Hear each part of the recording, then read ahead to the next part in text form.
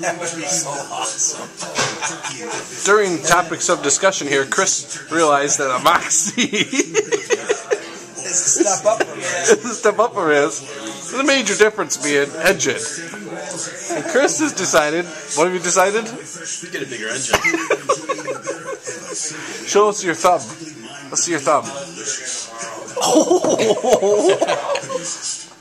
That's intense riding right there, ladies and gentlemen. That's called wide open till I see God, is what that is. Damn straight. Look at the blister there. Yep.